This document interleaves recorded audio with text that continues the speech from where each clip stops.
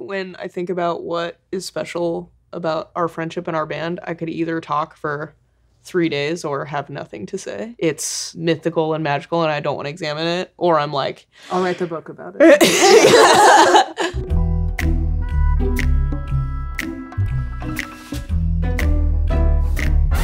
As it was shaping up, I think that the song was looking like it was just going to be about having a little bit of mental Ill- illness.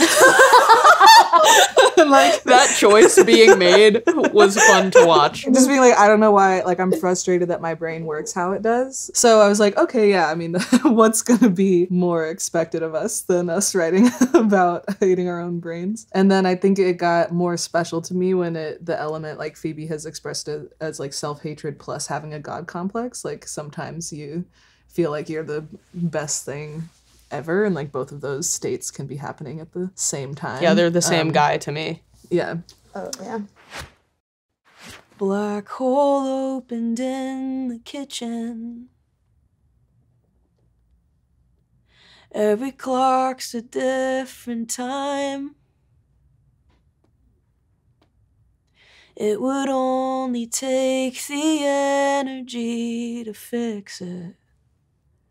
I don't know why I am the way. Black hole it's like this limitless unfathomable thing in time also this like limitless unfathomable thing in the kitchen. It's so domestic and like changing the clocks is actually so easy. So it's like these things that should be easy about life are actually tied to these things that feel like you can't even touch them which uh, is a flavor of mental illness that i think like a lot of people deal with like just not being able to actually do executive function to like deal with something too tired to piss, too full of piss to sleep. Every night. and that's this guy, I think. That's this version of us. I am not strong enough to be your man. I tried, I can't stop staring at the ceiling fan and spinning out about things that haven't happened. Breathing in. Just staring at your ceiling and being like, I literally can't show up for anybody if I can't change the clocks in my kitchen and I can't do a simple task. It's like, you don't want to see this, you know? yeah But we talk about that all the time, like mm-hmm. the type of guy, non-binary term, I think. But the Yeah, yeah. the type of guy who's like, you don't want any part of this. Like, I think we're all guilty of better than me man at at some point in our lives being like, I couldn't possibly be accountable to another human being. It's like, well, that's the whole point is that it's a little bit hard. Drag racing through the canyon. Singing, boys don't cry. part of this greater thesis of just being like boys don't cry like get your shit together when you're hating yourself it's like don't fucking wallow in this like Yeah. don't cry about it like don't let yourself pity yourself i feel like that's another voice in the milieu of uh, self-hatred Hating yourself for hating yourself. yes Do you see us getting scraped up off the pavement?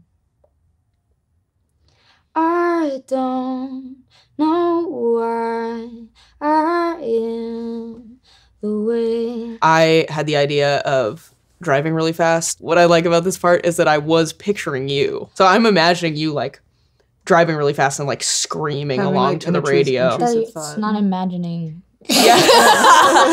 and then yeah, having Yeah, an yeah, yeah. intrusive thought about And about like, like "Ah!" the Yeah. driver's ed videos that they show you of like kids that die on the road. Yeah, or like driving on the one because I was like whipping the Bronco, and then you Yes. wrote that verse, and I was like, literally, I was like blaring drug church and like going through the canyon on the way back to this, Yeah. and you were like, I was like, hmm. "Ugh." Yeah. I am not strong enough to be your man. I lied. I am just lowering your expectations. Half a mind that keeps never second guessing. Close my eyes and count. I love a chorus that sounds phonetically similar to the last one but isn't and means an opposite thing or an mm-hmm. expansion on the first thing. And this means the opposite thing, which is like, I'm better than you actually because I'm more complex and flawed. But I don't want you to expect me to be around because that would be pressure that I just would prefer not to feel. I am capable of being the man that's strong enough to be your man, but the responsibility of it is not something I can handle. The mm-hmm. song is like fuckboy genius. It is Yes. fuckboy genius. Yeah. Yes. Always an angel, never god. Always an angel, never god. Always an angel, never god.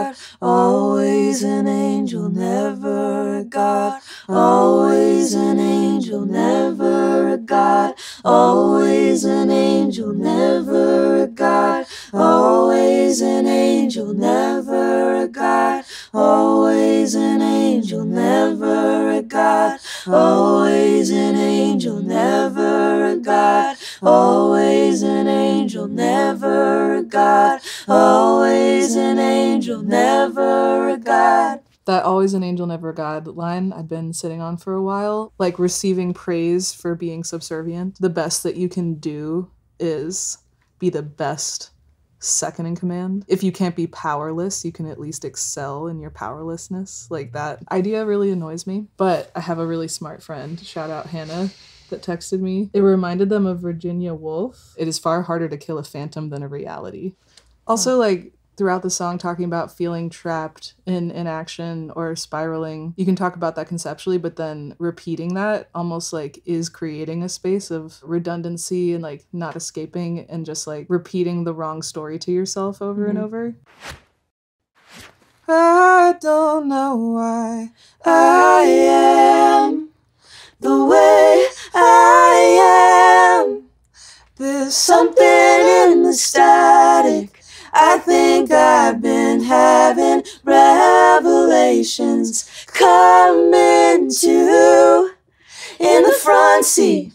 Nearly empty, skip the exit to our old street and go home.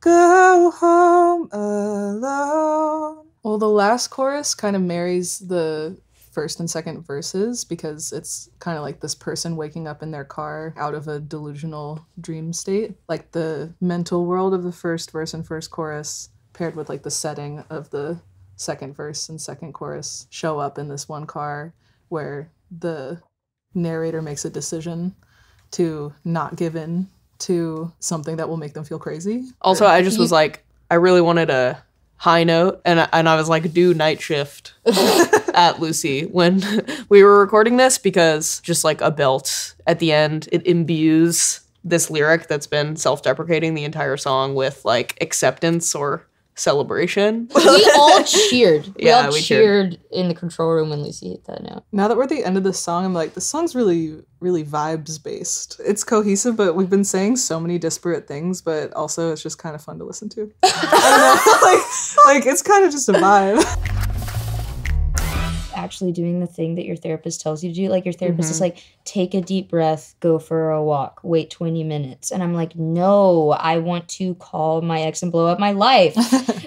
Listening to that stuff, like counting, doing mindfulness. I used to be like, taking a deep breath is not gonna help me right now. And then it And then does. it does. I'm like, breathe. It's literally just go piss. It's literally just piss. Dude. I think people who take care of themselves piss. Moisturizer. And I don't. Yeah. Drink water. What if I don't put on moisturizer? What if I did? No, but like, The out of context clips are gonna be so strong. Yeah. We're just talking about piss.